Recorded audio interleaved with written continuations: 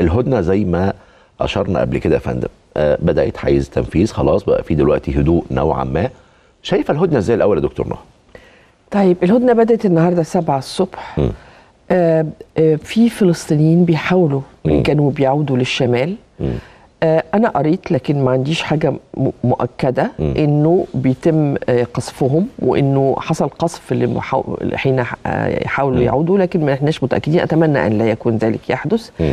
الهدنة تنفيذها على عدد من الأيام م.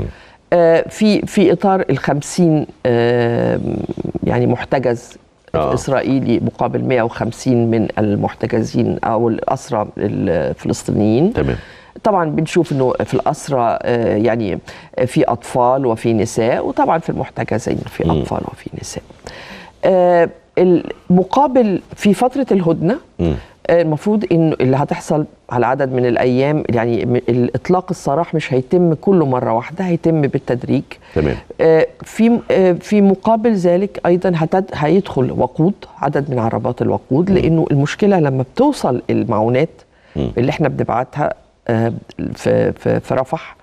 آه، عشان الأنروا تاخدها وتوزعها محتاجه عربيات وقود آه طبعا فبالتالي منع الوقود عنهم كان كارثة. يعني أنا الحقيقة قعدت مع شباب مصري زي الفل. آه، في رفح بيساعد مجتمع طبعاً. المدني ودوره وبيحكوا لي قد إيه الإسرائيليين بيتعنتوا في ال- التفتيش. بس التفتيش بياخد وقت قد إيه علشان يقبلوا الشاحنة توصل. صحيح. والشاحنة عشان توصل محتاجة إن يبقى هت- هتسلم. مم. عشان تسلم وتبتدي الانروا تو- توزع وتخش على غزة كلها محتاجين وقود. طبعا. فطبعا عدم وجود الوقود كان كارثة. وعدد من الشاحنات التي تشمل الغذاء لأن الناس دي ما عندهاش أكل.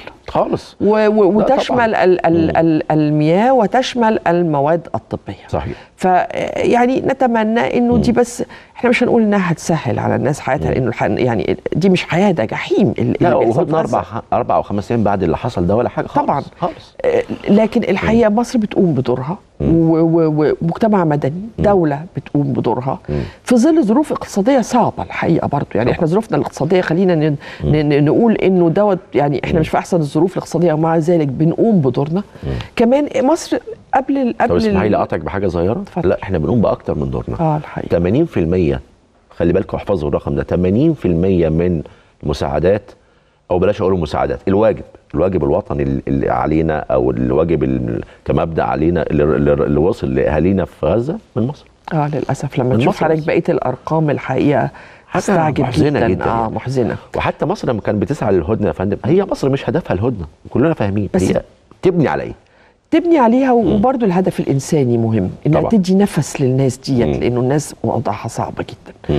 آه آه طبعا نأمل إن زي ما حضرتك بتقول نبني على ذلك. لأنه إحنا قلنا هدفنا من الأول في القمة اللي حصلت في مصر وهو وقف إطلاق مم. النار الكلي وإننا نقعد نحاول نلاقي حل مع المجتمع الدولي. طبعا وضع إنساني مأساوي. آه، كل أعراف القانون الدولي وكل ما تعلمناه في القانون الدولي والقانون الدولي الإنساني ينتهك. آه، آه، ويعني ربنا يلطف بالناس اللي هناك طيب الهدنة دلوقتي خلاص موجودة مم. ما بعد الهدنة طريقين ما فيش غيرهم مم. إما العودة إلى الصراع مرة ثانية بالبنادق وأصوات البنادق ترتفع مرة ثانية زي ما كنا شايفين أو السير في الطريق الدبلوماسي وإكمال المسار للنهاية والوصول إلى حلول أقربهم إيه اللي هيحصل في تقديرك لا أنا الحقيقة يعني متمنية إن أنا أكون متفائلة وأقول إنه بعد الهدنة دي مباشرة هيحصل وقف إطلاق النار. لكن في أصحاب مصالح ليهم رغبة في عدم حصول حضرتك أول ما قلت. متمنية دي. حسيت إن في ما بين السطور كتير آه لأنه خلينا آه. نفتكر إنه يوم ما هيحصل وقف إطلاق النار هو يوم ما هيثور المجتمع الإسرائيلي على نتنياهو.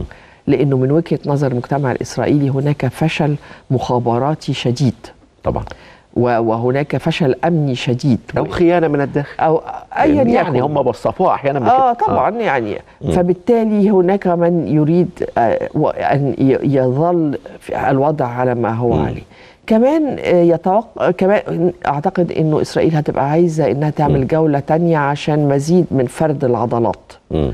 وحتى لا يتكرر ذلك هم طبعا بيقولوا يعني حوار إعلامي مضحك مم. إن هم موجودين إلى أن يقضوا على حماس مظبوط. وده شيء مضحك لأنك لن تقضي على حماس. أنت بتخلق النهارده بيبي حماس أكتر من حماس. طبعا. يعني ما تخلقه ما هو ده فشل مرعب. إعلامي وفشل دبلوماسي آخر ينضم إلى باقي أنواع الفشل اللي عندهم يعني. والله أنا بخاف إنه أحيانا الناس بتتبنى بعض ال- المقولات. وترددها. يعني تلاقي. حضرتك أمريكا بتردد هذه المقولات أوروبا بتردد هذه المقولات ولا يوجد من يفكر. هي خلاص بتبقى مقولة ومشت فإحنا عايزين آه، نمسح حماس من على الأرض.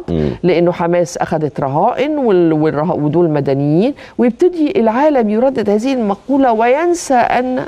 من المستحيل أن يعني تم تمحو آه، يعني مقاومة. سواء اتفقنا مع ما حدث أو. اختلفنا 7 أكتوبر لكن ستظل هناك مقاومة ايا يكن مسماها. طالما إنه ما فيش ونرجع تاني لكلمة الرئيس السيسي حل عادل مظبوط. فبالتالي هنا يعني آه، هتستمر هذه المهاترات ال- الإعلامية من قبل الجانب الإسرائيلي وهو عنده الحقيقة ماكينة. خلينا نفتكر إن هو عنده دولة ومؤسسات الفلسطينيين مش بنفس القوة. طبعا. ف, ف و- و- يعني إحنا بنحاول إننا نساعد وبنحاول إننا نقف لكن في الآخر والبيت الفلسطيني مش متحد طبعا. للأسف. ما ما هي دي الكارثة يا دكتور نهى؟ هو لو كان البيت الفلسطيني متحد من البدايات ما كناش وصلنا اللي إحنا فيه دلوقتي. ما هو خلينا برضو نفتكر إنه حتى لما هم بيقولوا حماس ما هو حماس دول ما هماش منتخبين من الشعب الفلسطيني. آه هم. كانوا انتخبوا وخلصت مد- مدتهم. وفلسطين حاولوا إنه يوم ما يعملوا انتخابات وإسرائيل وقفتها. بس هم انتخبوا ب- يعني في- بعد وجودهم مش قبل وجودهم. يعني من قصدي كان كيان في, وتم في, ال- في الألفينات آه صح كان حصل انتخابات مظبوط. وفاز حماس يعني كانت موجودة وانتهت المدة آه وانت كانت موجودة آه. وانتهت المدة بتاعتهم وكان وحتى ولم تحدث انتخابات بعد ذلك مظبوط. ومؤخرا كان المفروض هتحصل انتخابات وإسرائيل وقفت فحتى مم. أنت لما بتعاقب المدنيين يعني حتى لو قلنا أنت بتعاقبهم عشان انتخبوا حماس هم حتى لم ينتخبوا حماس مم. ففي حين إن أنت في فلسطين في بعض المقول في إسرائيل أنا آسفة بعض المقولات بتقول إنه كل الإسرائيليين ليسوا مدنيين. لأن كلهم يتم تجنيدهم طبعا. ففيما عدا الأطفال لا كلهم جزء من الجيش الاسرائيلي. هنستمر في هذه المهاترات إلى متى مم. يعني لكن أنا كنت أتمنى إني أقول لحضرتك رد يعني يريح قلبك لكن أنا مش ال- ال- الوضع والأمور في السياسة دايما كل يوم بتتغير أنا مقتنع بده النهارده شيء ممكن نبقى مثلا عندنا يأس في قضية معينة لا ممكن بكرة الصبح تتغير بشكل مهم يعني طيب آه، سؤال برضو بيطرح نفسه يا دكتور من المستفيد أكثر آه، من تواجد الهدنه الهدنة عفوا الجانب الإسرائيلي ولا الجانب الفلسطيني لا طبعا هو يعني أنا اسفه اني أقول إنه كان دايما كل إطلاق كل إسرائيلي مم. يعني رهينة أو سجين أو وات بيقابلوا 14 فلسطيني مم. النهارده إحنا عندنا كل إسرائيلي بيقابلوا ثلاثة فلسطينيين صحيح 50 ل 150 فبالتالي إحنا هنا بنتراجع في. ما نحصل عليه آه لا هو هي في صالح بس ال ال الإنسان الفلسطيني مم. إنه ي- ي- بس يلاقي حاجة ياكلها ومية يشربها مم. لكن لكن آه، لكن إسرائيل طب خليني أسألك سؤال بشكل آخر. ليه تغير الموقف الأمريكي حتى في على مستوى التصريحات لما قالوا لن نقبل بالتهجير القسري مثلا ده ما كانش موجود قبل كده. موقف الدول مصر والأردن واقفين موقف قوي. الحقيقة ال- الأمم المتحدة بنشوف برضو منها رغم إنها آه، غير فاعلة لكن موقفها واضح استقالات بنشوف بنشوف الأمين العام بيطلع يقول تصريحات. آه، بعض الدول الغربية الحقيقة فيها ضغوط آه، من الشعب من شعوبها جامد وخصوصا من الشباب. شباب بينزل في مظاهرات آه، آه، يعني كثيفة جدا جدا آه، وكمان تأثرهم اقتصاديا.